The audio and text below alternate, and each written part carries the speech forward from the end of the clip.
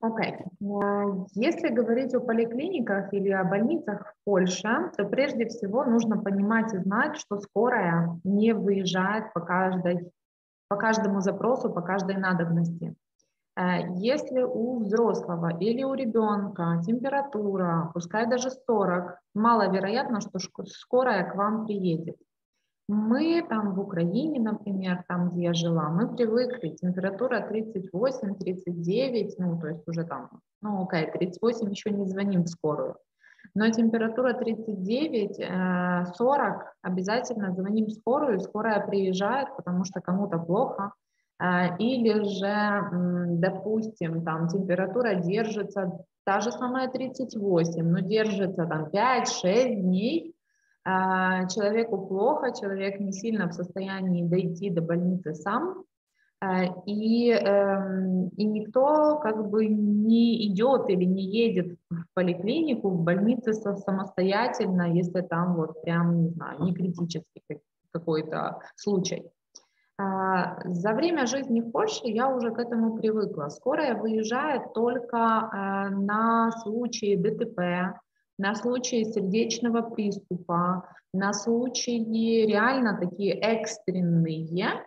А, и вот в этих экстренных случаях а, скорая выезжает так, что э, действительно машины уступают дорогу, а, действительно все разъезжаются во все стороны, скорая едет с мигалками на, на всех скоростях э, и приезжает достаточно быстро на место происшествия. То есть э, так как там в Украине скорую два часа никто не ждет. Эм, но э, как бы минус в том, что если все-таки человеку реально плохо, не знаю, ну, например, разрезал руку, ногу, температура высокая, то это все те случаи, когда надо ехать в больницу самостоятельно. Есть в Польше такое, как СОР. Сейчас я напишу, как это называется на общем чате. Это вот так, скорая, пункт приема людей, граждан. Видно на чате? И э, что необходимо сделать, когда нам нужно все-таки на скорую? А, берется такси, в интернете быстро находится ближайшее вот, это, вот этот пункт СОР, даже если не ближайший пункт СОР, то любой, в котором, где там в интернете написано, что сейчас этот пункт открыт, а, и едется в этот пункт приема граждан, там в такой как бы экстренной ситуации. Но перед тем, как ехать, лучше туда перезвонить. Особенно необходимо перезвонить, если речь касается детей. А, потому что не в каждом ссоре работает э, педиатр, и не в каждом ссоре работает врач, который может осмотреть ребенка. Поэтому ну, как бы для взрослых в каждом ссоре будет оказана первая медицинская помощь и какое-то направление будет выписано, что делать дальше. Но вот э, с детьми посложнее, потому что лучше все-таки туда позвонить, с ними поговорить, объяснить, какие проявления болезни, какие симптомы, и только после этого скорая помощь примет э, там, решение, там, врач на линии скажет вам, что делать, ехать к ним или не ехать к ним, и что вообще делать в данном случае. Э, что важно помнить и понимать. Значит, э, по вот этим ковидным всем ситуациям есть отдельная инфолиния. И тоже в интернете пишем просто ковид, э, инфолиния ковид. Э, и тогда не на скорую едется или не в поликлинику звонится, а звонится на эту инфолинию конкретно по ковиду, и они тогда могут направить к вам бригаду э, врачей, которые приедут в комбинезонах, соответствующим образом одеты, соответствующим образом полностью экипированы, они там снимут мазки, сделают тест, в случае надобности сделают какой-то укол или еще что-то, и тогда, опять же, в случае надобности госпитализируют, но, честно, в случае ковида мало кого госпитализируют, то есть уже в более сложных ситуациях, в более сложных случаях госпитализируют, а во всех остальных случаях а, просто на дому оказывают помощь, а, сразу сглашают, то есть дают информацию о том, что этот конкретный человек заболел в санэпидемстанцию, и этого человека а, садят на карантин. Это так выглядит в случае COVID. Дальше, когда приезжаем на эту скорую, на этот СОР, а, прежде всего спрашивают номер ПЭСЕЛь. Что такое номер ПЭСЕЛь? А, это налоговый номер польский. В этом налоговом номере 11 цифр. А, они, э, он обычно начинается с даты рождения. И этот налоговый номер получает только тот, кто уже территориально приехал, пребывает в Польше. Его выдают на основании каких-то соответствующих документов, подтверждающих побыт, то есть пребывание человека в Польше. Это может быть и в первую очередь э, выдается э, ПЭСЕЛь на основании оформления прописки. То есть мы берем договор аренды, идем в Ужонд, в Уженде нам выдают прописку и вместе с этим номер ПЭС. Это все бесплатно, а, только просто занимает времени сам вот этот процесс получения документов, потому что это надо пойти в Ужонд. А дальше, если, допустим, нет договора аренды, то можно получить этот ПЭСЛ на основании трудового договора, то есть э, договора с работодателем. Э, и э, еще момент, можно получить этот песель на основании договора с учебным заведением, то есть, например, так как с нашим университетом. Вот, вот это поводы выдачи документов на ПСЛ, и ПСЛ необходим сразу при том, чтобы вам оказали какую-то медицинскую помощь. Потому что на основании вот этого номера ПСЛ они проверяют, вы вообще сглушені до ЗУСу. Что такое ЗУС? ЗУС – это э, налог от заработной платы, э, который называется как фонд социального страхования. Э, этот ЗУС а, он оплачивается, и благодаря нему мы получаем первую медицинскую помощь э, в стране. Ну, не только первую медицинскую помощь, то есть любую медицинскую помощь внутри страны. А, мы на прошлой нашей встрече затронули тему беременности, родов в Польше и так далее. То есть э, полностью все вот это обслуживание было бесплатно. А, и роды были бесплатные, и обслуживание во время беременности на основании именно того, что у меня был ЗУС. Но ЗУС у меня был не лично мой, как я плачу налоги, а на этот период, период беременности я присоединилась к э, ЗУСу мужа. Как этот процесс выглядел? Всего-навсего необходимо было мужу обратиться с заявлением в отдел кадров у него на работе и подать туда в список э, свою жену, то есть меня. При этом не было вообще никакой необходимости, например, а, оформления каких-то дополнительных э, там, документов или это не является каким-то дополнительным налогом. То есть я, как сотрудник любой компании, которая работаю на официальной заработной плате и оплачивая налоги, получаю доступ к медицинскому обслуживанию э, на основании вот этих своих налоговых платежей. Э, при этом, имея вот этот доступ, Выглядит это следующим образом, что они по номеру ПЭСЛ видят, я зарегистрирована, я плачу налоги, или я не зарегистрирована, я не плачу налоги. Если видят, что зарегистрировано, плачу налоги, все в порядке, то оказывают полное медицинское обслуживание. В случае, если не зарегистрировано, они тоже окажут полное медицинское обслуживание, но потом выставят счет. Последний счет за э, экстренную госпитализацию, которую я видела от наших учеников, был на сумму 2200 злотых. 2200 злотых. Счет за экстренную госпитализацию, э, по-моему, был аппендицит. То есть сделали экстренно операцию. И через два дня человека выписали из больницы. Но был счет на 2200 злотых. Что делать, если мы не оплачиваем налоги, если мы, допустим, так как вы, Павел, фрилансер, да, потому что наверняка этот вопрос уже в голове где-то созрел, пока я это все рассказывала. А, в таком случае есть два варианта.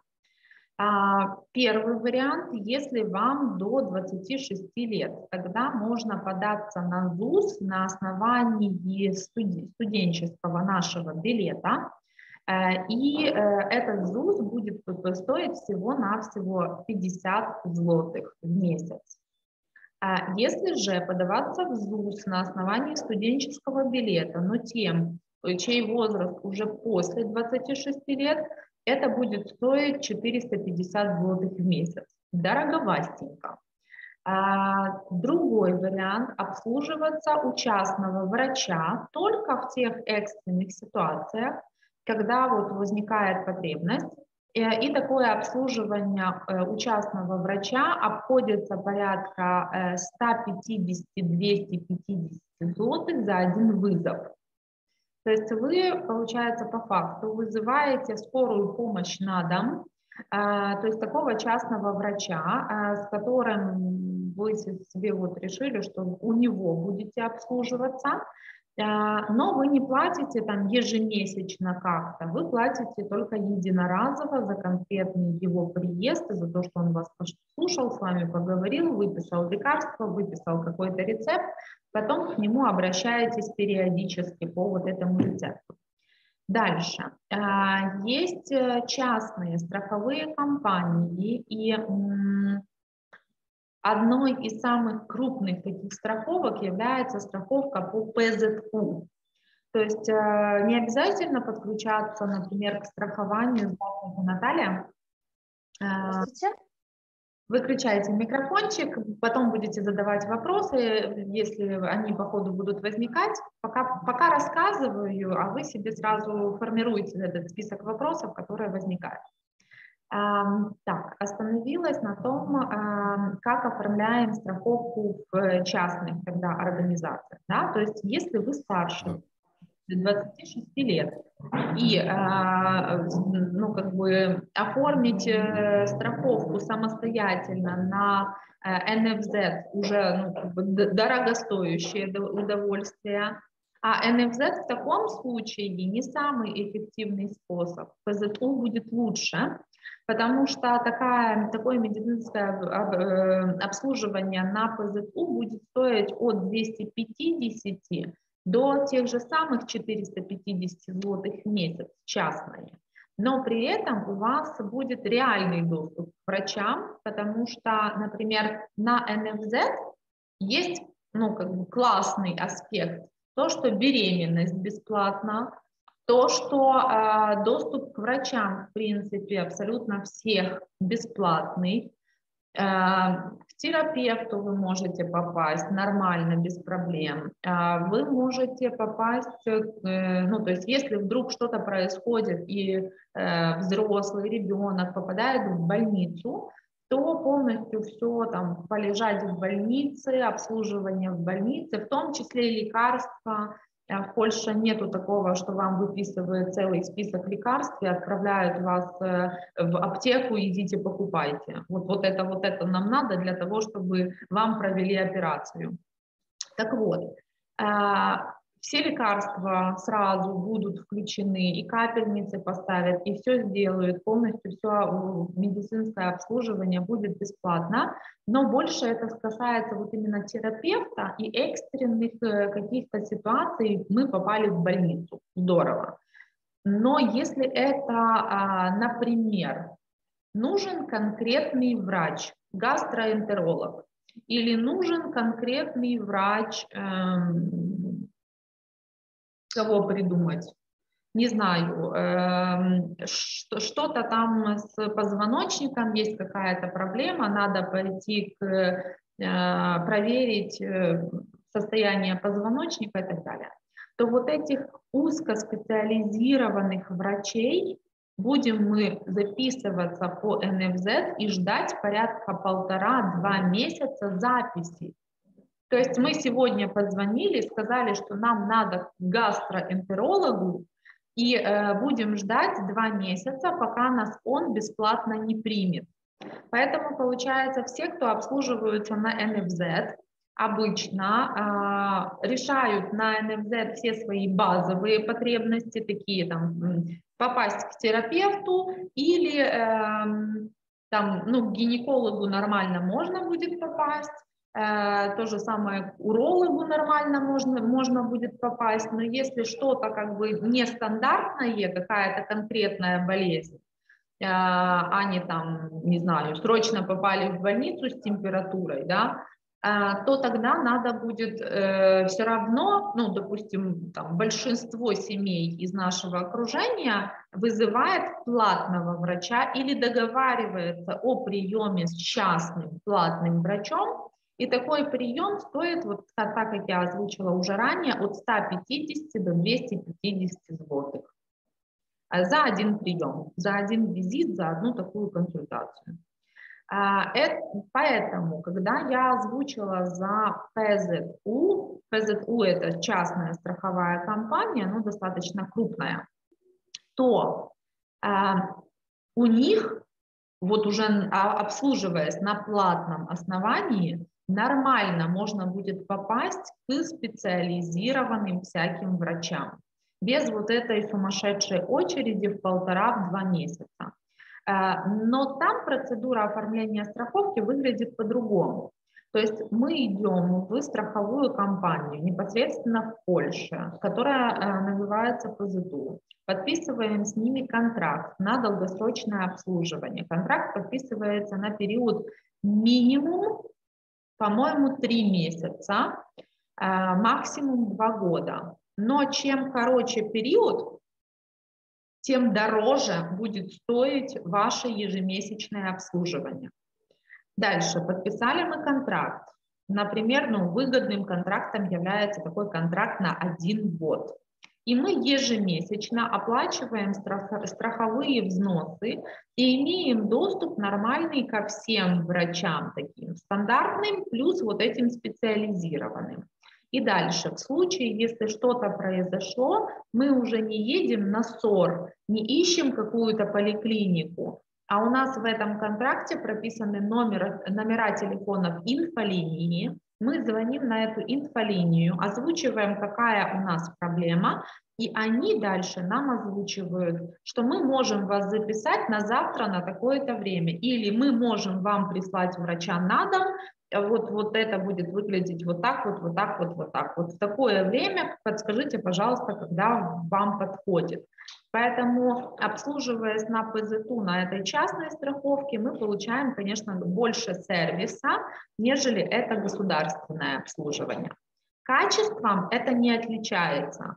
То есть э, сказать, вот сервиса больше, да, а качество в плане осознанности, э, умственных каких-то не знаю, параметров врачей или, в принципе, того, что врачи понимают свое дело, ну вот не каждый врач, то есть то же самое, что в Украине, то же самое, что в России, э, вот обслуживаешь что на НФЗ, что на э, страховках от ПЗУ, ситуация будет выглядеть одинаково. Один врач будет компетентный, хороший, толковый, а на, втор на второго врача попадете извините, стучу, откройте. Так это может выглядеть, и так это выглядит в практике. А, что еще? А можно я зафиксирую, я немножко запутался в терминах. НФЗ – это страховка такая, скажем, государственная, да? Да. Ее стоимость в месяц порядка 450 злотых, если вы старше 26 лет на статусе студента. Если 450? Вы... 450, да. В месяц? В месяц, да. Государственное. Угу. Это а, а добровольное страхование, вот это, которое называется какими-то тремя другими буквами? ПЗУ. Как? ПЗУ. Это э, тоже подписывается контракт на год, и там ценник от 250 до 450 злотых в месяц. Стоматология обычно не входит в страховки ПЗУ э, на НФЗ, то есть на государственной страховке, стоматологию обслуживает один из десяти врачей. И обычно это не сильно качественное обслуживание. То есть прямо на страховке государственной к стоматологу попасть практически нереально. Если попали, то вам повезло. А если еще он сделал хорошо свою работу, то повезло вдвойне. Я пропишу эти, эти термины, то есть НФЗ – это государственная страховка. ПЗУ это частная. А вот этот вариант, когда вызываешь к себе медика за, вот у меня написано 150-250 злотых за прием, это тоже... с собой мед... себе медика домой, это может быть реализовано на страховке ПЗУ, но тоже смотря какой врач. И это выглядит следующим образом. Вы звоните на инфолинию, и на инфолинии в ПЗУ тот номер телефона, который будет вам указан в контракте. И а, там на этой инфолинии вам скажет э, сотрудник, ну, например, вы описываете симптомы своей болезни, вы описываете, что с вами происходит. И вам в этом случае консультант на инфолинии озвучивает, мы вам готовы прислать врача в такое-то, такое-то время, такой-то, такой-то день. Подскажите, пожалуйста, вам подходит или нет? Вы говорите, да, подходит, хорошо. Вы говорите, нет, не подходит. Если нет, не подходит, то он скажет, а можете приехать завтра по такому-то адресу в такое-то время? Да, могу, хорошо. То есть обычно это будет выглядеть вот так вот. А когда я рассказывала за вот этот СОР, предыдущие три буквы, это скорая помощь, то есть пункты приема граждан, похожие на скорую помощь, то э, мы их, то есть там на государственной основе мы едем в эти пункты. Но если единоразово, у нас, например, ситуация, температура 39, сейчас я закрою дверь, это студенты пришли,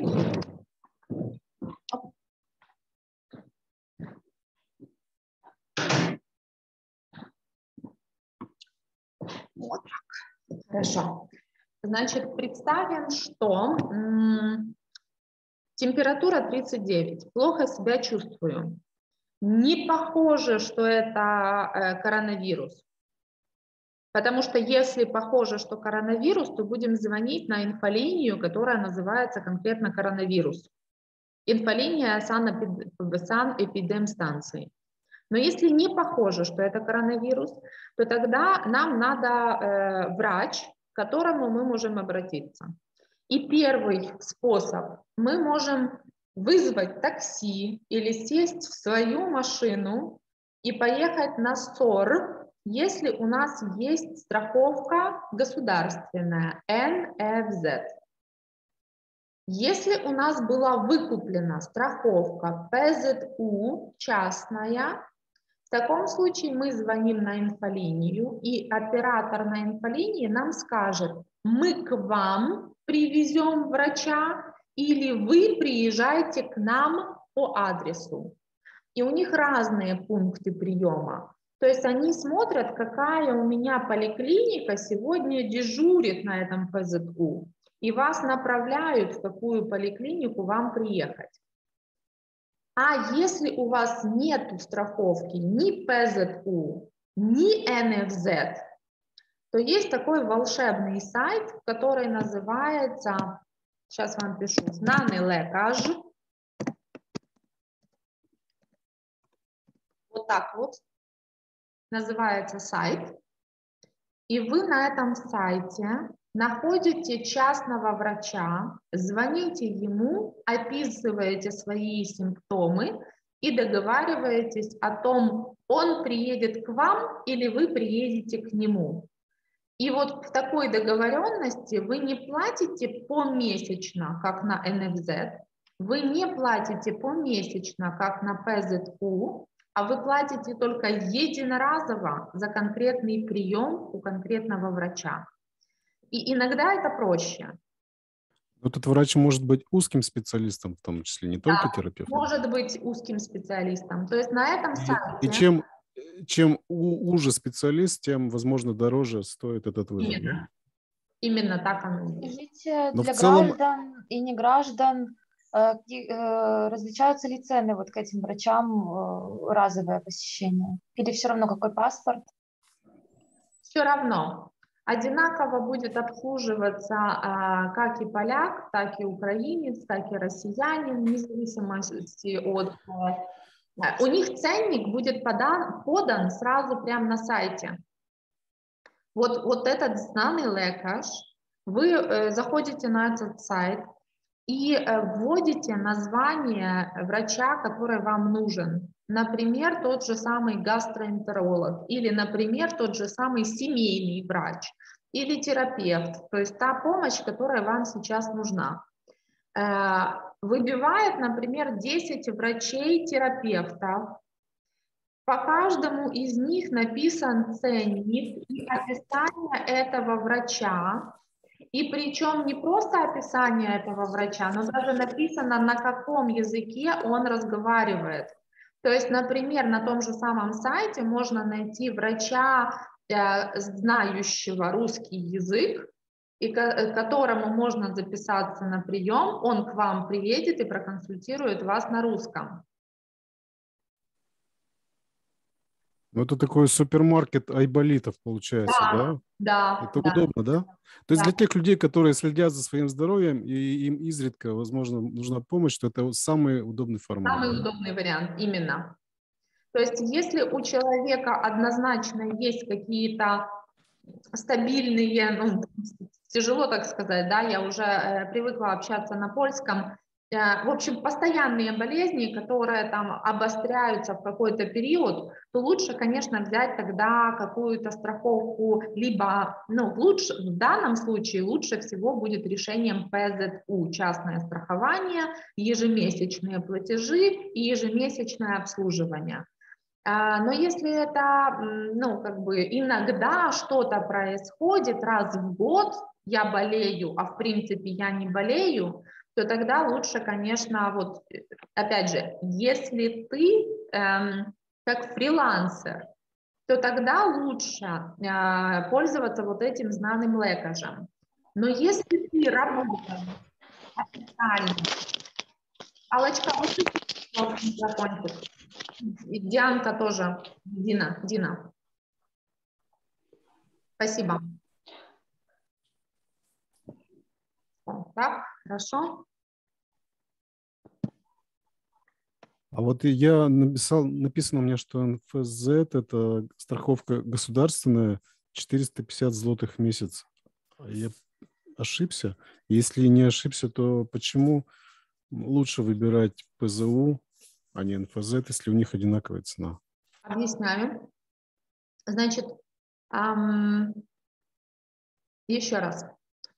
Если, ну вот так вот, как Паша, ваша ситуация, то есть вы фрилансер, официальной работы в Польше вы, скорее всего, не будете иметь, то есть не планируете иметь. В таком случае, в вашем случае лучше выбирать ПЗУ. Почему? Потому что ПЗУ за те же самые деньги будет доступ к узкоспециализированным врачам. А в NFZ вы получите все сервисное стандартное обслуживание, но если вам понадобится какой-то узконаправленный специалист, запись к нему будет длиться в течение плюс-минус двух месяцев. То есть для того, чтобы сегодня позвонить и записаться к гастроэнтерологу, вам придется отстоять в очереди на два месяца вперед. То есть ПЗУ – это частное страхование, которое да. успешно конкурирует с государственным и… Да, именно. Угу. Но Скажите, есть... то есть можно… Наташа, позволите, потому что я, может, сейчас как бы половину вопросов… Да-да, конечно. А, но если вы работаете на, э, на любой работе, частной, государственной, неважно, на любой работе работаете, то вы платите налог, и у вас это НФЗ уже входит в пакете. Потому что вы в любом случае, оплачивая налог своей заработной плате, получаете полностью вот это НФЗ обслуживание, и вы дополнительно ничего тогда не платите.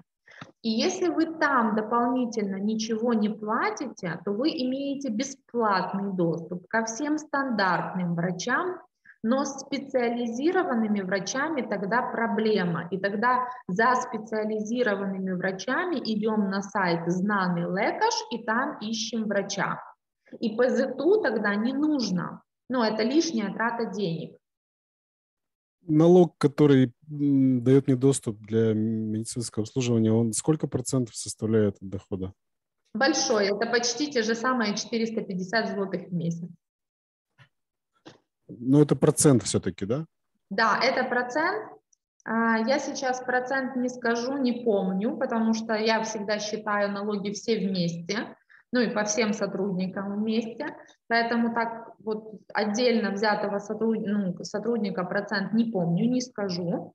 Эм, но, э, например, с заработной платы минималки я отчисляю на НФЗ с одного сотрудника 417 злотых. С минимальной заработной платы 417 злотых. Это почти то же самое, что вот вы самостоятельно оплачиваете 450 злотых в месяц. А если это не минимальная заработная плата, то тогда я, естественно, отчисляю больше. Например, там, где у меня у девочек заработная плата 4,5 тысячи злотых, то я по ним в НФЗ отчисляю 739 злотых. На минуточку. А получают одни и, и вторые обслуживание медицинское в НФЗ одинаковое. Вот вообще одинаковое. Остается порадоваться за медиков. Ну, та, такая система здравоохранения, так она устроена в Польше. Э, аргументировать ну, ну, или такая, плохо, такая она есть. Угу. Подскажите, НФЗ это и есть ЗУС? Или да. это что-то другое? Да, НФЗ это и есть ЗУС. НФЗ это Народовый фундуш здоровья. ЗУС это сам, само государственное учреждение, которое побирает, собирает этот налог и перенаправляет его в НФЗ. Да, это ЗУС. Хорошо. То есть разницу между вот этими страховками НФЗ, разницу между страховками ПЗТУ, разницу, как записаться частно к врачу и что такое СОР, плюс-минус усвоили или еще нет? Насколько далеко друг от друга ссоры расположены? Э, в целом городе их плюс-минус 6 или 7 в Лодзе. Ну, 6 или 7 на такой город, как Лодзь, это отдаленно. То есть надо с одного конца города ездить в другой, поэтому лучше сначала позвонить перед тем, как ехать, чтобы вас не футболяли, как футбольный мяч в том жутком состоянии, когда, блин, надо срочно помощи врача, и вы приезжаете на один СОР, а они говорят, извините, мы сегодня не принимаем. Можете еще раз проговорить про ссор, потому что не с самого начала подключились. И а, как я вообще... Девочки, не знаю, вижу, что и мальчики тоже, что не, есть люди, которые подключились не с самого начала, а, но лучше я специально поставила на запись. Вы посмотрите, пожалуйста, тогда в записи, хорошо, чтобы я уже не повторялась. Да, да, да, да. спасибо. Хорошо, спасибо. Угу, хорошо. Окей, значит, как записаться к врачу? В принципе, частно есть понимание. Еще хотела поговорить о медицинской страховке, которая на визу и на карту побыта. Потому что если у вас есть работа или если муж, жена официально работает, то вы дописываетесь к НФЗ, то есть к ЗУСу мужа жены, и это ему, ей дополнительно ничего не стоит, вам дополнительно тоже ничего не стоит. А, это просто надо заполнить бланк и отдать его в отдел кадров, ни больше, ни меньше. Налоги какие снимались, такие и будут сниматься. Просто необходимо подать данные. Ребенка необходимо таким образом вписывать в страховку. Да, Павел. А, и под этим э, зонтиком вот этого э, ЗУСа могут находиться супруга или супруг, да? И несовершеннолетние да. дети, я правильно понял? Да, правильно, да. А совершеннолетние дети уже должны свой ЗУС э, искать? Да, именно, да. А, можно, можно еще взять на обеспечение старших родителей. Старших это за 50 лет. Например, я подключала к своей страховке своего папу, а к страховке мужа подключала его маму. Но, например, я свекров взять не могу. Я и не кровная родня. А только своих родителей можно под этот зонтик тоже поставить, да? Да, можно. А, и а, муж и жена, которые не пребывают в официальном браке, тоже не могут состоять совместно в НФЗ. Потому что в своей практике очень часто сталкиваюсь с такими ситуациями, когда а, девушка забеременела от своего парня, они официально не расписаны. И тогда проблема состоит в том, как получить страховку, если, допустим, она не работала или работала на умове злицения, а, ну, как бы никто ее дальше там особо обслуживать не будет, э, договор, а, ну, агенция, допустим, по трудоустройству вполне вправе ей расторгнуть. А, поэтому вот в таких вот ситуациях ну, зачастую да, лучшим решением является расписаться, но проблема в том, что расписаться в Польше – это очень долгосрочный процесс, и причем через суд. То есть, чтобы расписаться в Польше, это надо быть настроенным на плюс-минус два года судебной всяких документаций, доношения документов и так далее. Проще расписаться, например, в Чехию поехать, если не хотим выезжать за границы э, еврозоны, или выехать в Украину, там, допустим, во Львов, э, и там взять, есть услуга, которая называется шлюп за три дня, как-то так. Окей, okay, ребят, у нас сейчас время закончится. А, давайте переподключимся и продолжим. Буду отвечать еще подробно на ваши вопросы, потому что тема такая очень специфическая. Здесь очень много тонкостей и однозначно вопросов, я понимаю, что у вас миллион. И нормально буду реагировать, если вопрос будет звучать, а что если там у моего ребенка вот случилась такая ситуация, как нам действовать, а что если? Давайте с вами построим таких разных 10 предположений, и вы на следующий раз будете вооружены, то есть будете знать, ага, если вот такая ситуация произошла, то действуем вот так вот, вот так вот. Если такая ситуация произошла, то действуем вот так вот, вот так вот. Переподключаемся, да? так.